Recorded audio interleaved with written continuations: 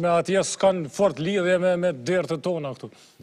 Po, është e vërtetë, zgjedhjet amerikane çdo herë janë të rëndësishme ato për president t'Shteteve t'Bashkume, po kësaj here është jashtëzakonisht e rëndësishme edhe për Amerikën, po ma shumë menoj për pjesën tjetër të botës, për arsye sepse jemi në një kur Po ndryshon gjeopolitika, pra po, po futemi në një periudhë të re, ndoshta tash, nëse me ramjen e komunizmit në vitet 90 ka përfundu një epokë dhe e cila ka zgjatë deri tani, tash pritet t'kemi një, një botë tjetër e cila po rindërtohet me konfliktin, me luftën në Ukrainë, me ato çka po ndodhin po në Lindjen e Mesme, Dhe zgjedhjet amerikane sot përcaktojnë edhe fatin e botës me njëfarë forme, nëse duhet të vazhdohet kështu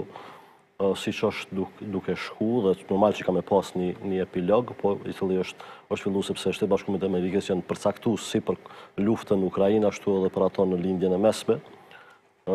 Nëse ndodh që fiton Trump, pavarësisht që Trump ishte n'garë edhe në zgjedhjet e kalume, mhm. pikërisht me demokratët ku i fitoi zgjedhjet Biden, atëherë mund të kemi një një ndikim tektonik, po e quj kështu në sa i përket gjeopolitikës, i cili ka me pas masnej impakt edhe te politika rajonale ku jemi edhe na, sepse një pjesë e Evropës është stabile, nuk pritet, ndoshta mundet me pas ndryshime ndikimi i Rusisë, i, i fuqive të mëdha, po ndikime t'drejtpërdrejta politike, siç mujn me prek rajonin tonë, kryesisht Kosovën, Bosnjën, Serbinë, Malin e Zi, Maqedoninë, mujn me pas ndikim dhe është e paparashikushme se si do të veprohet pas ardhjes eventuale të Trumpit, sepse e dimë nëse veç fiton Kamala Harris, atëherë do të ndiqet një linjë e njëjtë pak a shumë. Është e parashikushme dhe është pothuajse projeksioni i qartë, është linja për integrimin e rajonit në Bashkim Evropian, në Bashkim Evropian stabil, ashtu fuqizimi i Bashkimit Europian, fuqizimi i NATO-s që janë dy institucionet, po menoj dy klubet kryesore t'cilat e përbojnë Perëndimin në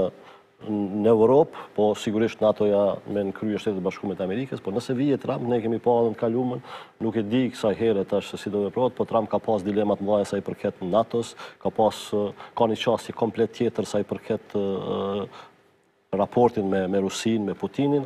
e pastaj edhe Lindja e Mesme, nëse shikojmë në fund të mandatit t'Trumpit, në Lindjen e Mesme nuk ka pas luftë, përkundrazi ka pas marrëveshje paqeje që kanë qenë ndoshta të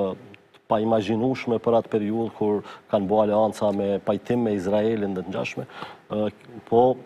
rendi i ri botëror është duke ardhë dhe kjo çka menoj që është shqetësuse për rajonin tonë, si me Trumpin, si me Kamala Harris, nëse rajoni, po flas këtë rast Kosova, nuk veprohet me hapa ma të shpejtë, është rrezik se do të mbetet i harruar, mm. pasi që pas përfundimit eventual të luftës në Ukrainë, i gjithë fokusi ka me qenë Kina, pra Kina është problemi kryesor i Perëndimit, që pastaj Kjo pjesë mbetet, sepse Europa tek e fundit është